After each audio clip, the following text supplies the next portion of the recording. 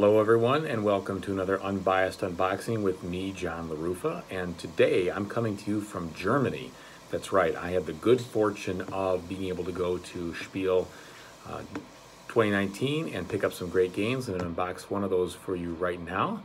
And that game is Era Medieval Age, along with this little expansion that I picked up as well. So let's take a look at what is inside these guys. Okay, so first of all, I've got to apologize for the lighting and the fact that I'm doing this sort of one-handed since I do not have anything to hold the camera. I'm in a hotel room after all. But as you can see, beautiful box art to start with this. Also note this is the English edition. Um, this came with it. This is a pack of stickers that I know they've added recently to improve the readability of the different player boards. So that my copy did come with that taped to the side of the box. And then this little guy is the collector set number one. Um, in the back, it kind of just shows a couple little things about it. Pretty good artwork again. I mean, there's no complaints there. This is going to be a beautiful game, I know, because I saw it at the convention.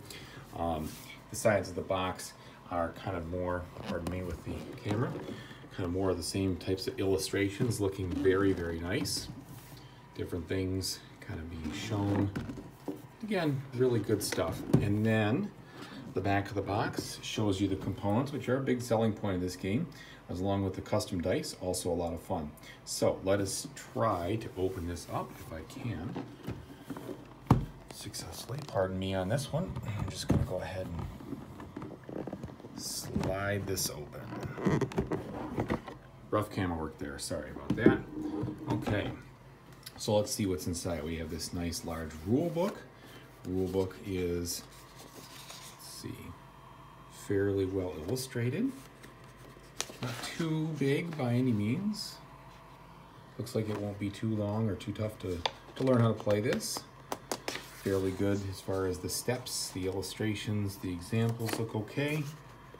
Only time will tell, but that's good news that we have all those things uh, kind of well in place. And then, you know, some of the appendices, which is also very nice to have about everything, what they do, and how it all goes together. So there's that. Then we have some player boards here.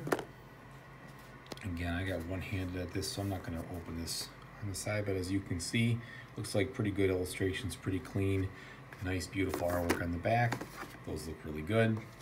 Now here's the player boards, and again, I think that a lot of people did struggle with trying to see what was on these things originally, um, but they are very nice plastic. They're not going to warp on you or bend or anything like that, but they would be tough to read without stickers or something. So I'm glad that the stickers did come with that. That's going to make it be a lot easier. That being said, if they didn't, I'd probably hack it just fine. You know, I'm in the plastics industry, so I kind of understand what you is what you get when you mold things like this. So there's two player boards.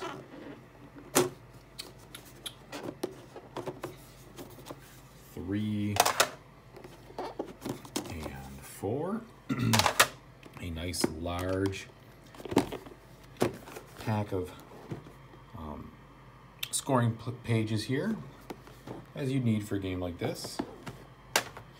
Lots of different custom dice, so these are going to be cool. I'll open these up. Pause the camera probably, just open them up and show everybody. Those look really good.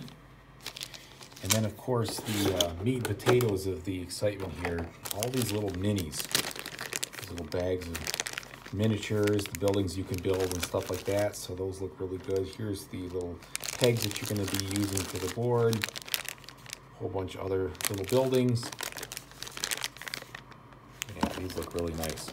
So what I'm going to do now is I'm going to pause the camera, turn it back on after I open these up, and then give you kind of a hands-on demonstration of, of what we got and how they go in. So we'll be right back. Okay, so I've opened up some of the dice here, and again, these are really high quality, nice heavy dice.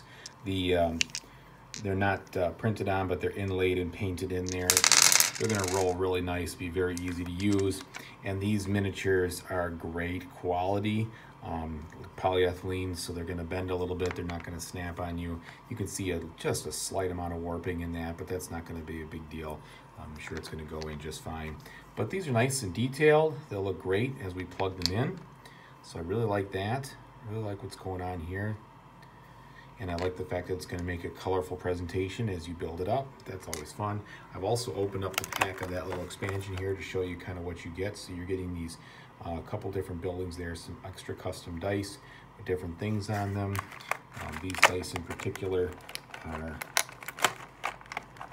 a little bit different. Same heft and weight, but just different things. There's kind of a, a pearlescent look on that one that's kind of nice. And then a blue and a black um, as well for those. And you also get a little rule book here with the expansion. So we'll see what comes in that. I forgot to mention we've got some of these um, different sided, two-sided discs, which will most likely be useful as we go. And just so that everybody can see how these things kind of come together, I wanted to plug in a couple of them on the board just to give you my impression of how well they fit in. That fit in no problem at all. Let's try a different one here. Go in pretty easily here, no issues. Not gonna move around on you. Okay. Yeah, they fit in nicely. You don't have to really press hard, so they're not they're not uh, you know warped or anything like that. Sometimes can happen with plastic uh, miniatures. No problem. So these things are gonna go in just fine, and it looks like they're also gonna hold up and not fall out too.